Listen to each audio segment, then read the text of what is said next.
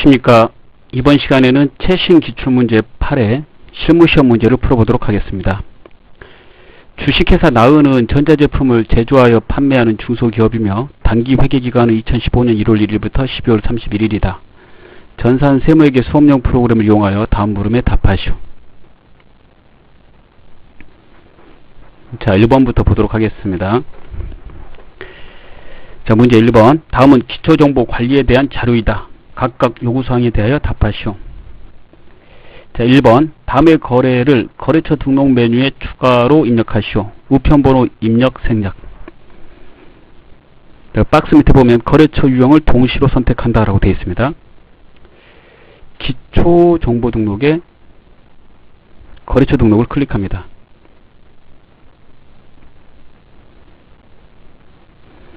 네, 그리고 제시된 그대로 입력하시면 되겠습니다.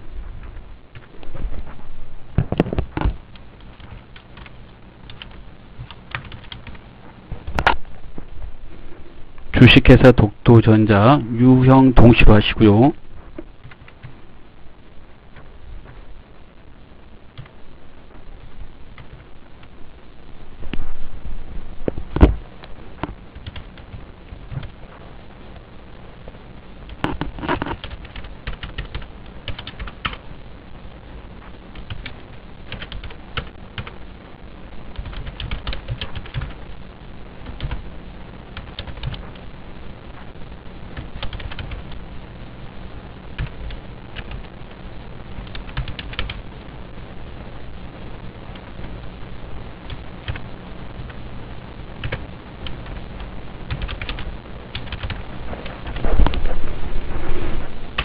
자, 그대로 입력하시면 되겠어요.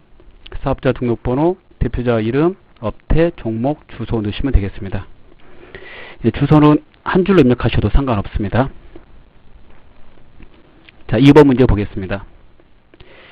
계정 과목 조교 등록 중 819번 임차료 계정에 현금 조교 7번에 법인 승용차 리스료, 리스료 지급을 등록하시오. 기초정보 등록에 계정 과목 및 적요 등록을 누릅니다. 코드 번호 819번을 칩니다. 중앙에서 중앙에 있는 코드 계정 과목에서 코드란에 마우스 클릭하고 819번을 치십시오. 그럼 임차료로 왔고요. 현금 적요, 적요 넘버에 7번을 넣고 주어진 자료 그대로 입력합니다.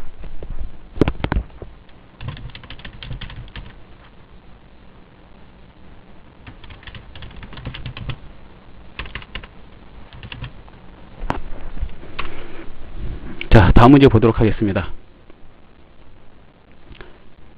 적용을 넣으실 때는 띄어쓰기 하시면 되겠습니다. 3번 회사는 거래처인 주식회사 서울과 외상매출고 및 외상매입금을 상계한다는 약정이 없음에도 불구하고 이를 상계하여 정기분 재무상태표를 작성하였다. 실제 주식회사 서울의 외상매출금과 외상매입금 총액은 다음과 같으며 교회되는 금액과의 차액은 주식회사 서울의 외상매출고 및 외상매입금이다. 정기분 재무상태표 및 거래처별 초기 이율을 수정하시오. 두개 고치면 됩니다. 정기분 재무상태표, 거래처별 초기 이율. 정기분 재무제표 등의 정기분 재무상태표를 클릭합니다.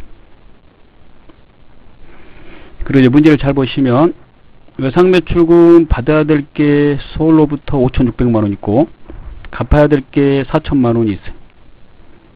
각각 총액으로 표시해야 되는데 상계에서 처리했다라고 되어 있습니다. 즉 외상매출금 5,600만 원에서 외상매입금 4천만 원을 빼가지고 받아야 될 외상매출금이 갚아야 될 외상매입금보다 많음으로 그 차액 1,600만 원만 외상매출금에 추가해 놨고 외상 매입금에는 넣지 않았다 이런 거죠. 그러면 상계하면 안 되는 건데 상계했으므로 수정을 해야 되죠. 그러면 외상 매출금 5천만 원에는 지금 현재 1,600만 원만 플러스 돼 있는 거예요. 5,600이 플러스가 돼야 되는데 즉 기존의 외상매출금에다가 서울거 외상매출금 외상매출금 5,600만 원이 플러스가 돼야 되는데 1,600만 원만 플러스 됐기 때문에 4천만 원이 적게 표시된 거죠. 그래서 4천만 원을 더해 가지고 금액을 9천만 원으로 바꿔야 됩니다. 자, 그리고 오른쪽에 외상 매입금에 가서 외상 매입금은 아예 입력을 하지 않았죠. 외상 매출금과 외상 매입금의 차액인 1,600만 원 외상 매출금에 입력을 했으므로 외상 매입금이 있음에도 불구하고 상기하다 보니까 입력이 아예 안 되는 겁니다. 그러므로 4천만 원을 추가로 넣어줘야지 맞는 겁니다. 예, 3,400만 원에다 더하기 4천만 원 하시면 7,400이 되죠.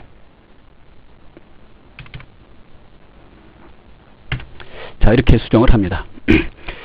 자, 그러면 결국에 정상적으로 서울의 외상 매출금 5,600만 원이 반영됐고 외상 매입금 4천만 원이 반영이 됐습니다. 자, 창을 닫고요. 거래처별 초기요를 누릅니다. 자, 그리고 외상 매출금 클릭하시고 왼쪽에서 오른쪽에 서울에 보면 1600만 원만 써져 있죠. 차액만 넣었으니까. 그래서 4천만 원이 추가돼야 되는 것이므로 5,600만 원 받을 것이므로 1,600만 원에다 4천만 원 더해서 5,600만 원. 그 다음에 외상매입금을 눌러서 외상매입금은 아예 입력을 하지 않은 것이므로 서울 거 4천만 원 지급해야 될 거 있는 거 표시해야 되기 때문에 우측 거래처 코드 자리에서 F2 코드를 누르고 주식회사 서울 친 다음에 4천만 원을 넣어야 됩니다. 자 이렇게 해야지 완료가 됩니다.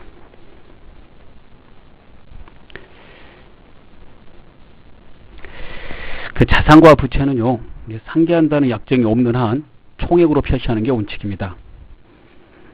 총액으로 표시하지 않을 경우 이렇게 받아야 될 외상 매출금에서 갚아야 될 외상 매입금을 빼서 1600만 원만 표시할 경우 받아야 될 돈이 더 많다고 그 차익만 표시할 경우 주식회사 서울에 갚아야 될 외상 매입금이 있는데도 불구하고 그 부분이 재무 상태표에 전혀 반영이 안 되므로 이해 관계자가 봤을 때 그 정보의 제공이 누락되는 것입니다. 그래서 항상 총액으로 표시하도록 되어 있습니다. 다음 문제 보도록 하겠습니다. 다음 문제 2번입니다. 다음 거래 자료를 일반 전표 입력 메뉴에 추가 입력하시오. 전표 입력에 일반 전표 입력을 누릅니다. 자, 첫 번째 1번 7월 1일 공장의 기계장치에 대하여 3일 화재보험사에 화재보험을 가입하고 480만원을 현금 지급하였다. 전액 자산으로 회계 처리하시오. 자산으로 회계 처리했다는 게 중요합니다. 자산에다 중요 표시합니다. 자, 그 자산의 이름은 성급비용이 되겠습니다. 네, 전액 비용으로 회계 처리하시오. 그러면 보험료가 되는 것이고요. 그래서 7월 1일자로 보험료 지급한 것을 자산 처리하라고 그런다면 성급비용으로 처리가 돼야 됩니다. 네, 차변의 성급비용, 대변의 현금이므로 예, 출금으로 입력하면 빠르니까 출금으로 입력하겠습니다.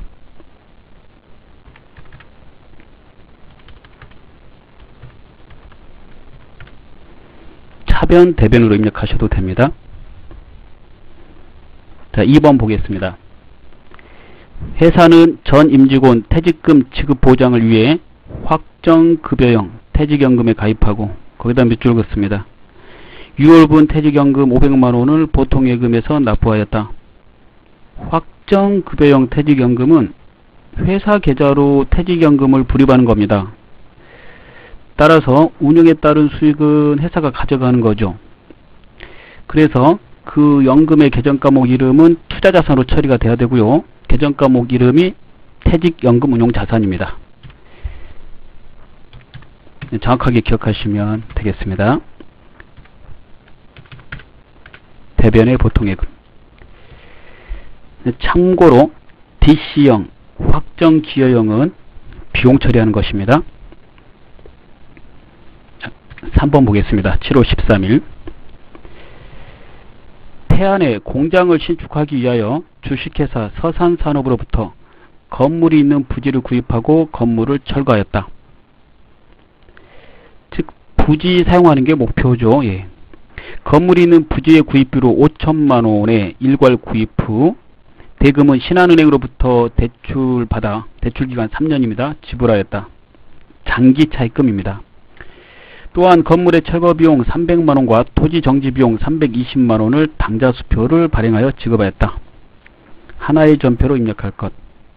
즉 철거비를 따로 입력하지 말아라 이거예요. 그러면 이제 차변에 부지를 산 거지 건물 산 거 아니잖아요. 그래서 건물은 즉시 철거를 한 거죠. 차변에 그래서 계정 과목 이름은 토지가 됩니다. 그리고 그 토지를 정상적으로 쓰려면 철거를 해야 되는 것이고 따라서 철거 비용과 토지 정지 비용은 토지에 가산해야 돼요. 모두 토지로 처리해야 됩니다. 토지를 정상적으로 쓰기 위한 모든 비용들은 토지로 처리합니다. 철거비하고 토지 정지 비용 620만 원을 더해서 5620만 원으로 차변의 토지로 처리합니다. 자 그리고 대변의 장기 차입금 거래처 코드 자리에서 신한이라고 넣어서 신한은행 네, 거래처 코드 번호까지 나오게 이렇게 입력하시고 금액은 5천만 원으로 고치시고 대변에 당좌수표 발행한 거는 당좌예금이 되겠습니다. 다음 문제 보도록 하겠습니다. 4번입니다. 7월 23일 단기 보유 목적으로 구입한 주식회사 태양의 주식 500주 장부금액 800만원짜리를 1000만원에 처분하였으며 대금은 당사의 보통예금 계좌에 입금하였다. 800만원짜리를 1000만원에 팔았으니까 200만원의 이익이 발생했습니다. 그리고 단기 보유 목적의 주식이라고 했으므로 계정 과목 이름은 단기 매매증권입니다. 따라서 그 차익은 단기 매매증권 처분이익이 되겠습니다. 그러면 차변의 보통예금, 대변의 단기 매매증권, 대변의 단기 매매증권 처분 이익이 돼야 되는 것이죠. 자, 그럼 입력해 보겠습니다. 차변의 보통예금 1000만원, 대변의 단기 매매증권 장부 금액으로 고치고 800만원, 그 다음에 그 차액은 이익이 발생된 거죠. 단기 매매증권 처분이익, 수익의 발생, 대변입니다. 다음 5번을 보겠습니다. 날짜를 변경해 주시기 바랍니다.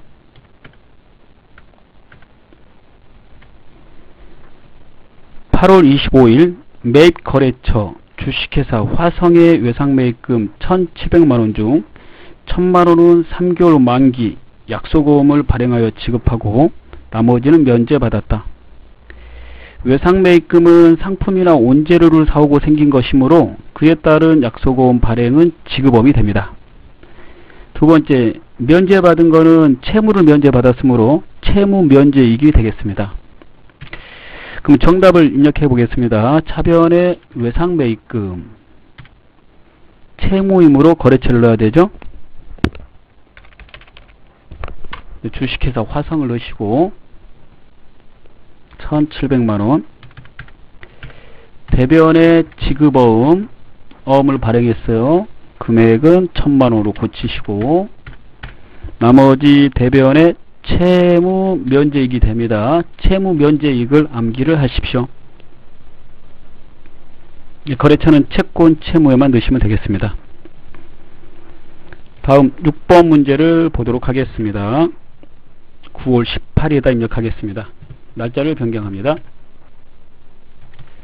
9월 18일 주식회사 대우자동차로부터 업무용 승용차를 구입하는 과정에서 취득해야 되는 공채를 구입하면서 대금 30만원은 보통 예금으로 지급하였다. 공채 액면 금액 30만원을 지급해야 되죠. 단 공채의 현재 가치, 즉 시가는 26만원이며 회사는 이를 단기 매매증권으로 처리하고 있다. 그러면 단기 매매증권은 시가로 써야 되므로 현재 가치로 26만원 써야 됩니다. 그런데 공채는 30만원 주고 구입했으므로 대변의 보통 예금은 30만원이 되는 거죠. 그럼 그 차액 4만원은 뭐냐 이게 중요한데 차량을 취득하는 과정에서 발생됐으므로 그 차액은 차량 운반구로 처리합니다.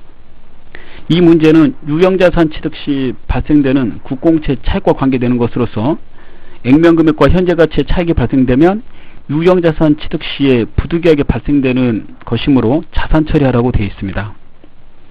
그래서 차량 운반구가 돼요. 자, 그러면 넣어보겠습니다. 차변의 단기 매매증권. 자, 현재 가치로 쓰시고, 자, 그 다음에 차변의 그 차액은 차량 운반구에다가 더합니다.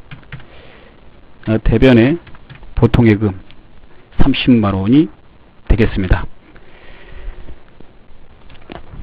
다음 문제 3번 보도록 하겠습니다. 다음 거래 자료를 메인 매출 전표 입력 메뉴에 입력하시오. 자, 메뉴를 바꾸겠습니다. 전표 입력에 메인 매출 전표 입력을 클릭합니다.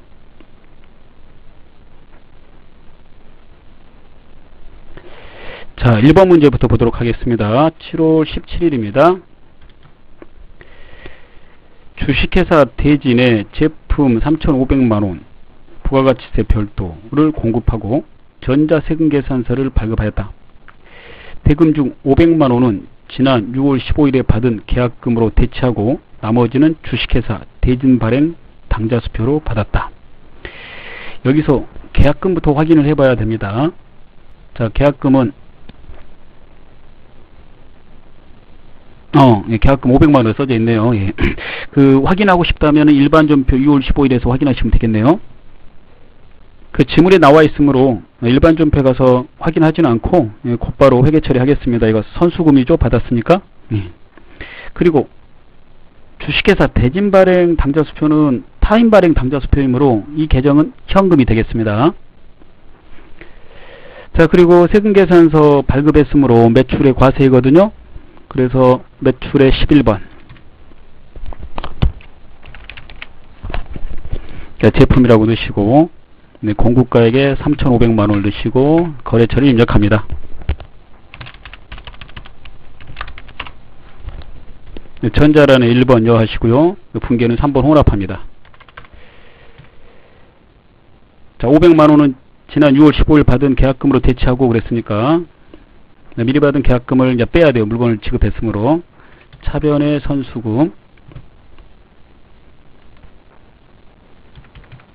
자, 금액 500만원 수정해 주시고, 그 다음에 나머지는 당자수표 받았다. 그런 거는 현금이죠. 타임 발행 당자수표니까. 그래서 3,350만원이 되겠습니다. 다음 문제 보도록 하겠습니다. 자, 2번 7월 30일 내국 신용장에 의하여 주식회사 한국무역의 제품 외화 15,000달러, 환율 달러당 1,155원을 공급하고 영세율 전자세금 계산서를 발급하였다. 제품 팔고 영세율 전자세금 계산서 발급한 겁니다. 자, 이 거래는 매출의 12번, 매출의 12번 영세로 넣는 거죠. 대금 중 600만원은 주식회사 항공무역 발행 당자수표로 받고 여기다 밑줄 긋고 타임 발행 당자수표입니다. 현금 나머지는 진서 발행에 3개월 만기 약속금으로 받았다. 제품 팔고 약속금 받았으니까 받으럼이고 거래처는 발행회사를 입력해야 되므로 진서로 바꿔야 됩니다. 자 그럼 입력을 해보겠습니다. 12번 영세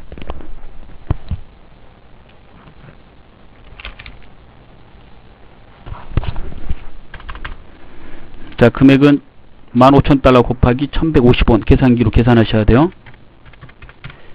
1,725만원 나옵니다. 주식회사 항공무역 넣으시고 전자란에 열을 하시고요. 그 매출의 영세, 매출의 수출하면 중간에 영세일 구분이 나오는데 어, 내국 신용장이니까 이거 3번이죠. 3번 넣거나 버튼을 눌러서 3번을 선택합니다. 분계 혼합하시고 부가세가 0%이므로 부가세 예수금은 없고요. 분계 보시면 대변의 제품 매출 차변에 그 당자수표는 타임 발행 당자수표이므로 차변의 현금 현금부터 입력하겠습니다. 600만원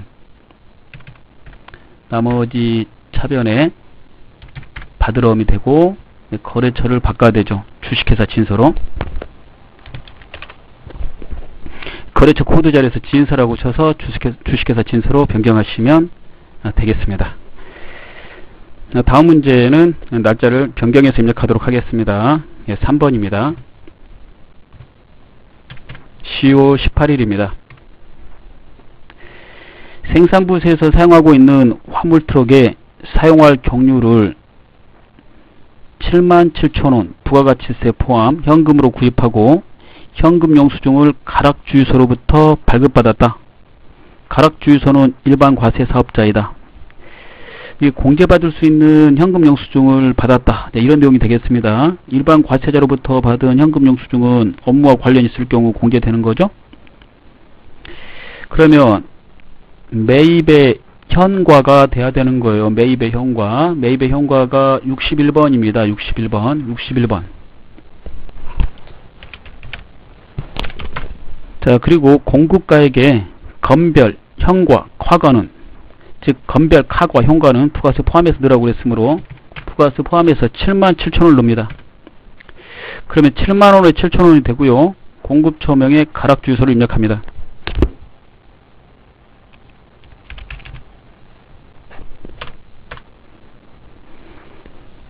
자, 그리고 분계는 1번 현금하시고요. 아래쪽에 계정 과목은 화물 트럭에 사용할 경유를 넣었다고 그랬으니까 차량 유지비 제조원가 522번으로 입력합니다. 네, 다음 4번을 보겠습니다. 네, 날짜를 변경해 주시기 바랍니다. 자, 이 메시지 나오면 그냥 아니오 하고 나가는 겁니다. 음, 다음 문제하고 연, 관계가 되는 것이고 우리가 중복되겠는 건 아니기 때문에 아니요 하고 나가십시오. 자, 11월 25일입니다. 공장 신축용 토지를 취득하기 위한 등기 대행 용역을 광량 컨설팅으로부터 제공받고 수수료 160만원 부가가치세 별도 당사 당자 수표를 발행하여 지급하고 전자세금계산서를 발급받았다. 이거 세금계산서를 받았는데 예, 공제가 되지 않는 항목입니다. 왜 그러냐면요. 예, 토지 취득과 관계되는 등기 대행 수수료잖아요. 그래서 취득 시에 취득 시에 발생되는 재비용은 자산 처리가 되므로 이 수수료 이름은 토지로 처리됩니다. 그래서 이게 토지의 자본적 지출분이고 토지가 면세이므로 공제가 안 돼요. 자 이렇게 세금계산서를 받았는데 공제가 안 되는 항목일 때 54번 불공으로 입력합니다.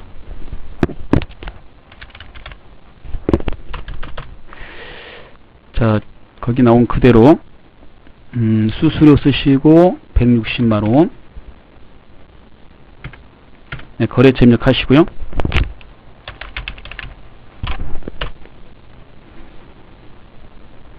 자, 그 다음에 전자란에 열을 하고 유형에서 불공을 입력하면 불공제 사유를 고르라고 나옵니다. 옆에 풍선 도움말 버튼을 눌러서 토지의 자본적 지출 관련 6번을 선택합니다.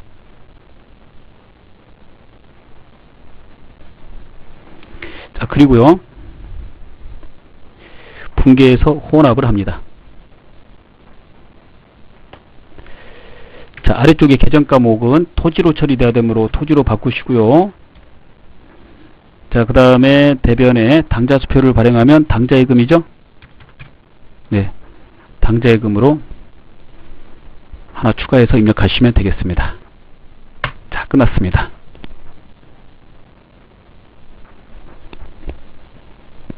자, 이번에 5번 보겠습니다. 11월 30일. 구매 확인서에 의해 수출용 제품에 대한 원재료 공급가액 2,500만원짜리를 주식회사 춘천으로부터 매입하고 영세율 전자세금계산서를 발급받았다. 자, 이거 매입의 영세이죠? 매입대금 중 500만원은 주식회사 울산으로부터 받아 보관 중인 약수보험을 배사해 주고 이거 받으럼이고 거래처 울산으로 바꿔줍니다. 나머지는 3개월 만기에 당사 발행 약소보험으로 주었다. 우리가 원재료를 매입하고 약소보험을 발행해 준 거는 지급보험으로 처리가 돼야 돼요. 자 그러면 입력을 해보겠습니다. 매입의 영세 52번입니다.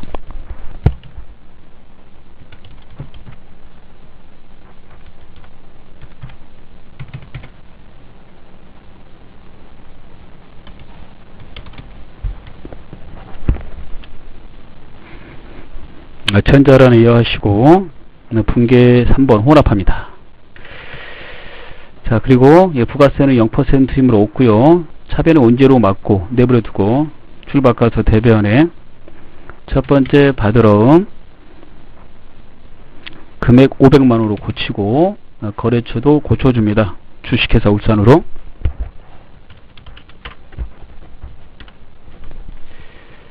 그리고 줄 바꿔서 대변에 지급어음 2천만원 자 이렇게 입력하시면 되겠습니다.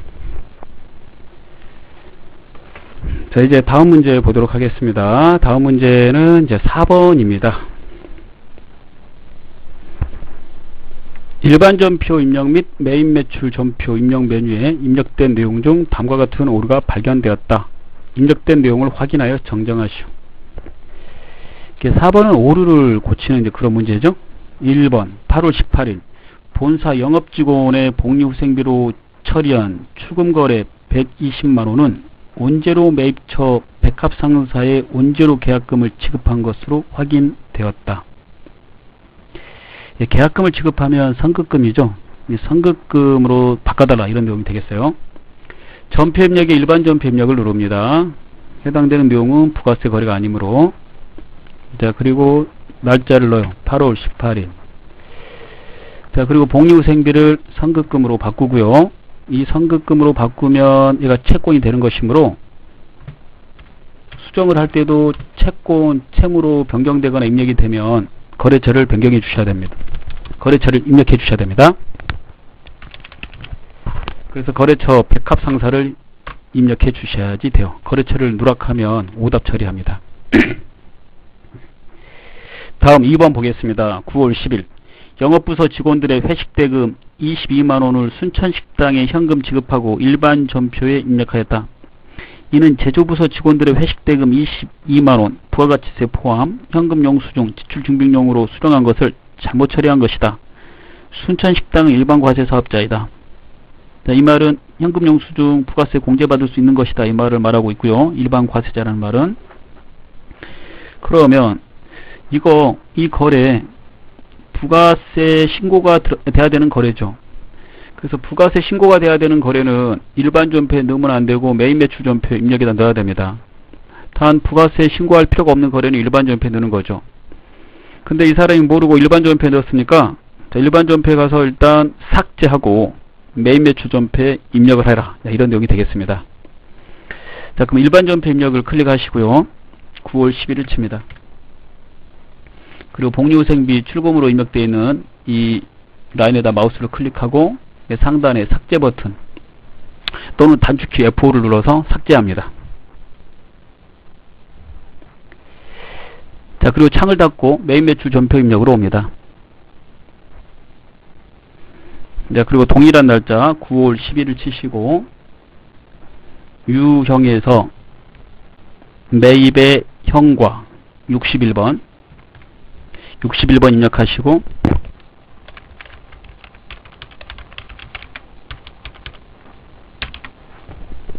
자료를 입력합니다. 회식대금이라고 쓰시고 네, 공급가액에 부가세 포함해서 22만원을 넣으세요.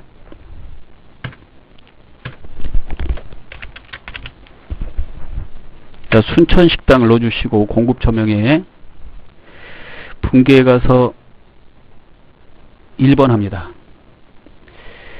그리고 제조부서 직원들의 회식대금이므로 잘 모르고 영업부서 직원들의 회식대, 회식대금으로 해서 판매비와 관리비, 복리후생비로 일반적으로 변환하죠.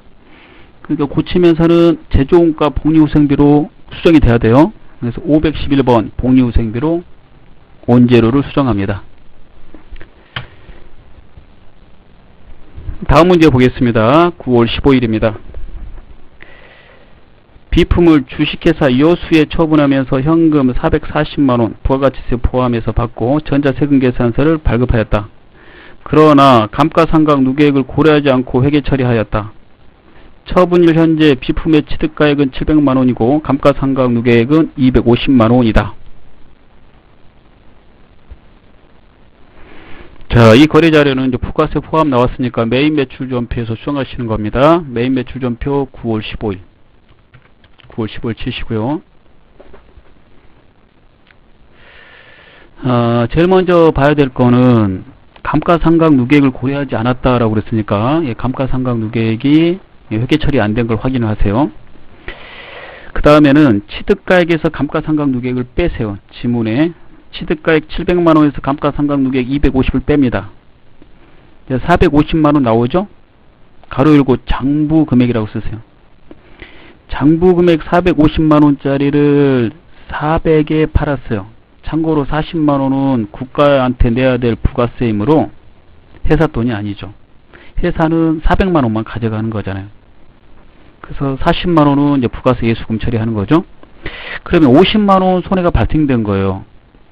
그런데 감가상각 누계액을 고려하지 않고 회계 처리하다 보니까 250만원 빼먹다 보니까 감가상각 누계액 자리가 차변이잖아요.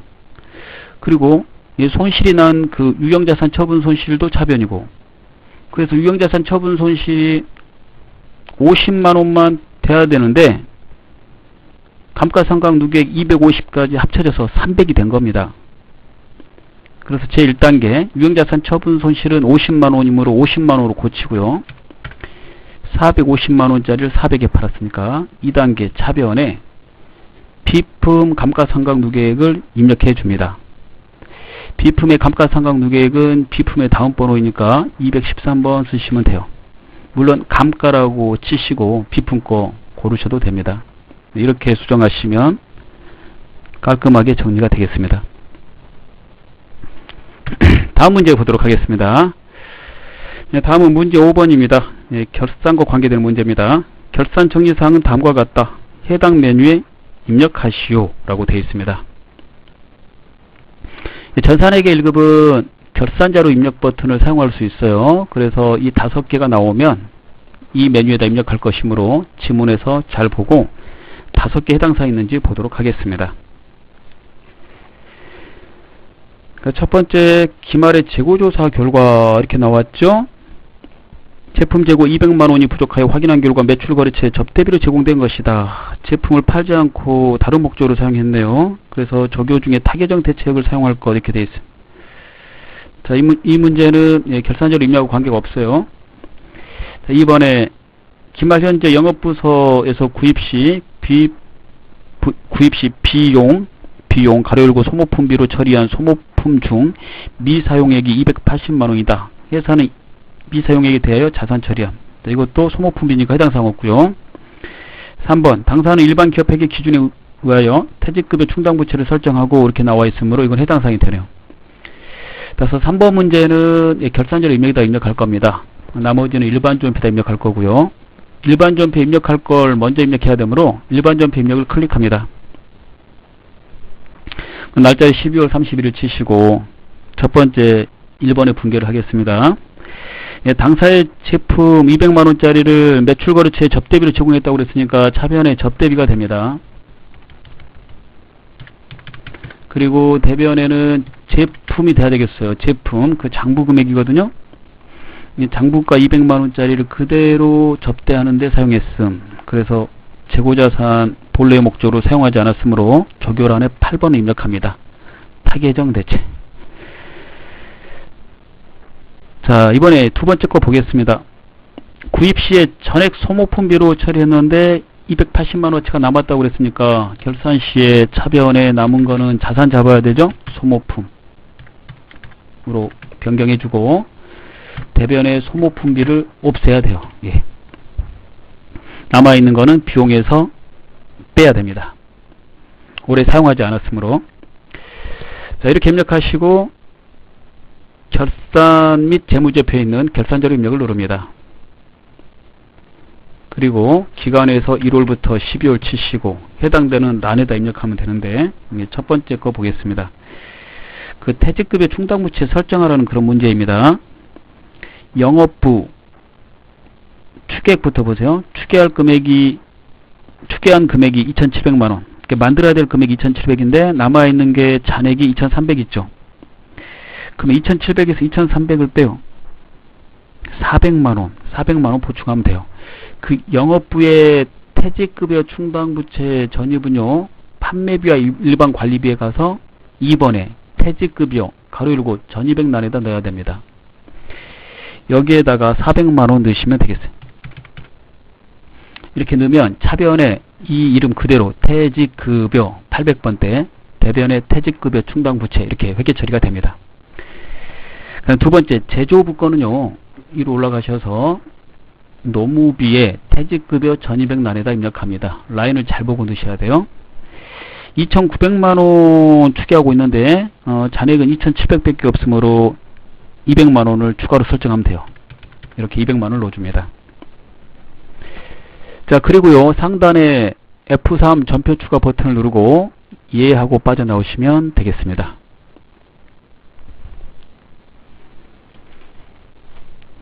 자 이제 마지막 문제 6번 남았습니다. 자 문제 6번 보도록 하겠습니다.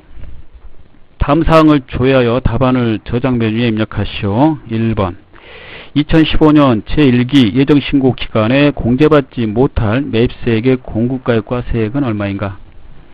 자 이렇게 공제받지 못할 매입세액 이런 것들 물어보면 부가가치세 신고세에서 조회하면 된다고 그랬죠? 예, 상단에 부가가치 메뉴로 바꾸시고 부가가치세 신고서를 누릅니다. 그리고 날짜를 입력하세요. 1월부터 3월.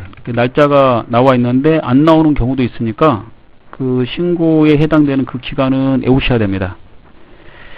공제받지 못할 매입세액의 공급가액과 세액은 신고서 16번입니다. 공급가액은 금액란을 보시면 되고 450만원 세액은 세액란을 보면 됩니다. 45만원 정답 450에 45만원이 되겠습니다.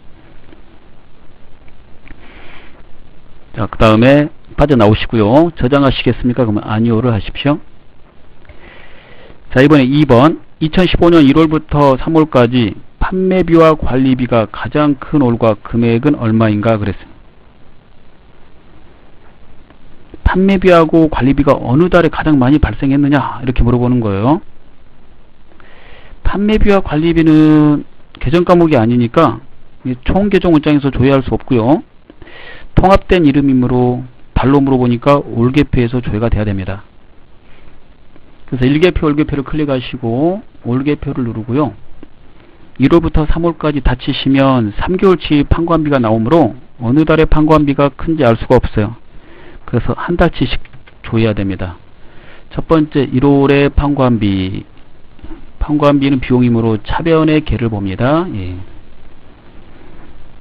자 금액이 1179만 1200원이고 그 다음 2월의 판관비 이렇게 보세요. 예. 777만 4400원이고 그 다음에 마지막에 3월의 판관비를 봐줍니다. 949만 2500원 이렇게 나오죠. 따라서 금액이 가장 큰 달은 1월이고 1월이라는 게 확인됐어요. 그 금액은 1179만 1200원이 되겠습니다. 정답은 1월 1179만 1200원.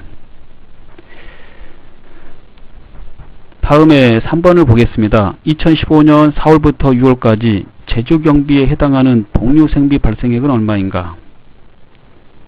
달로 물어보고 제조경비 밑에 있는 복류생비를 물어봤으므로 올개표에서 조회하시면 빠르겠습니다. 또는 또는 계정별 원장에 가셔서 511번 복류생비로 조회하셔도 돼요. 제조경비권 물어봤으니까. 지금 올개표에 들어왔으니까 올개표에서 하시는 게 더 현명하죠.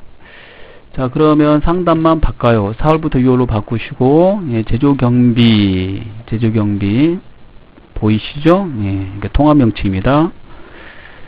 제품을 만드는 데 들어가는 재료비, 노무비가 아닌 것들을 다 제조 경비라고 그러죠. 제품 만드는 데 들어가는 재료비, 노무비, 경비 세 개 중에서 재료비, 노무비가 아닌 건 경비입니다. 그 중에 복리후생비를 봐요. 복리후생비의 개를 보시면 정답이 되는데 105만원이 되겠습니다. 정답은 105만원입니다. 자, 이번 시간에 여기까지 하도록 하겠습니다. 감사합니다.